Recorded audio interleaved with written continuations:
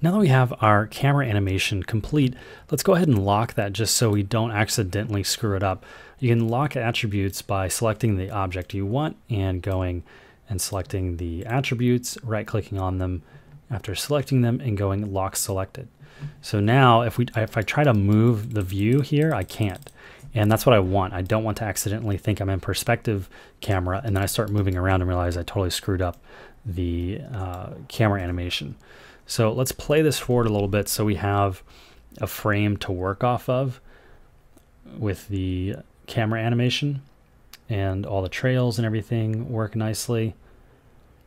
So I'm going to hit escape here. I'm going to let the curves and things fall apart a little bit. So what I want to look at is the reflections we're getting on the and the lighting that we're doing on the main logo. So I'm going to open up the Arnold render view and I'm going to hit play.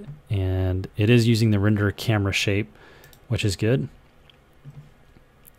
So we also might need to back the camera up a little bit. That framing doesn't seem to match. There we go. It didn't update the camera. Even though it's set to render cam shape that was kind of weird. I didn't update. I had to actually toggle off and on it. And I just noticed because this the distance from here to here wasn't the same just a minute ago. So Anyway, now we got the right camera. We're looking through the right one.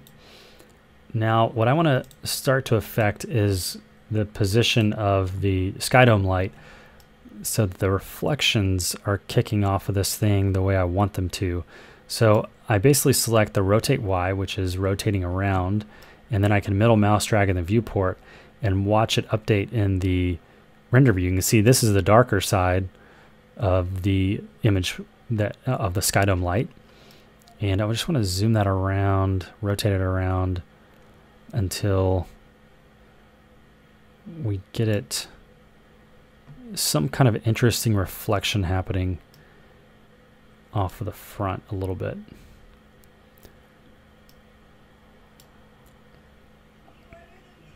The other thing you can do we could animate the or, or, change the random rotation. If you remember way back when in the MASH network, this is one of the nice things of procedural animation is making changes on the fly. If we wanted to adjust some of the random rotations that it's starting with, let's open up the MASH uh, editor and we can go down to random.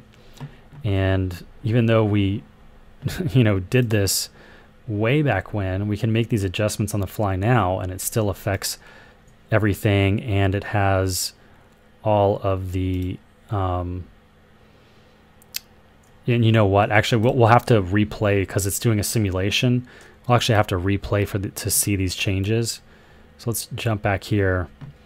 And now you can see it's all jacked up because the values were so high. So let's undo those.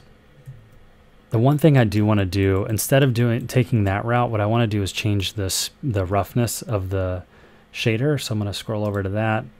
I'm going to do, call this pixel so we know what, which one it is. I'm going to reduce the amount of reflection. You can see this highlight here should change.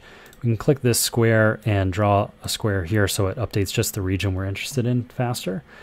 And let's actually leave that weight all the way up and then introduce some more roughness.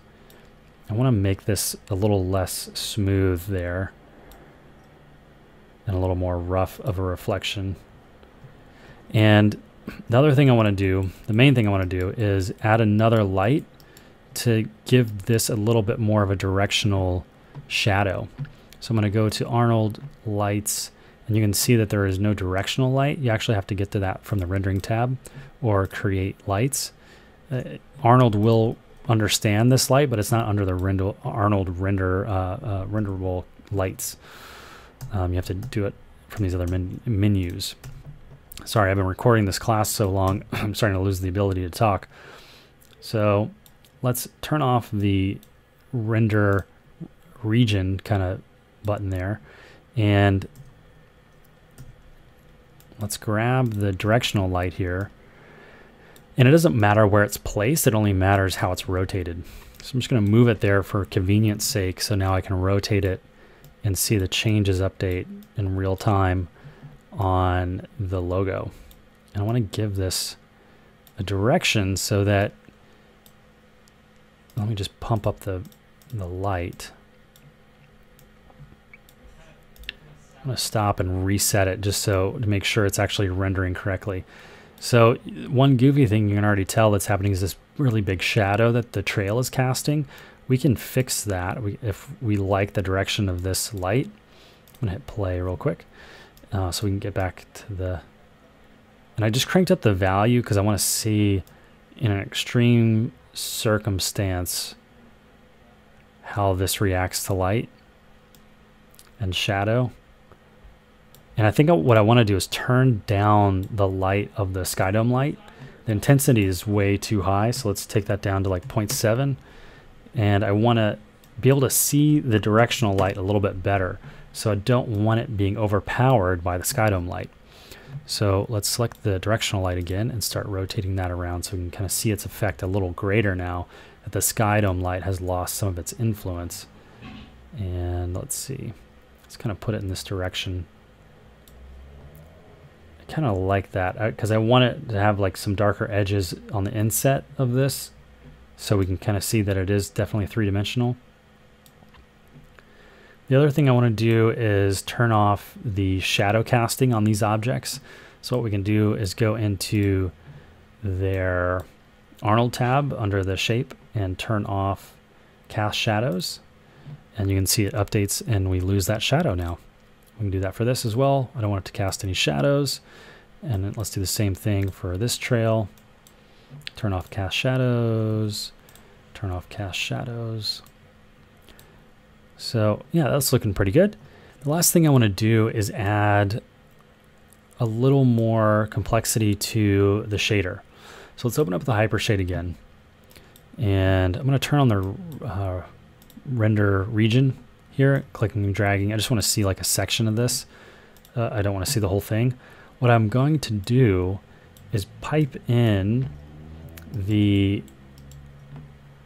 user color into the emission, but I want to do it with a uh, color correction. So let's let's just pipe it in first under emission color, and then let's go to the shader itself and go down to emission and actually turn that on.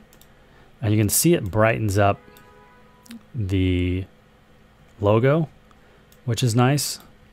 So we need to add an adjustment layer here or a, a color correction. So I'm going to hit tab and do color correct.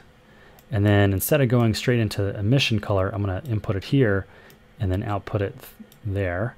So now we have this one little area that we can start to adjust the color that we're piping in. So I can adjust the gamma, the hue shift, which is kind of cool.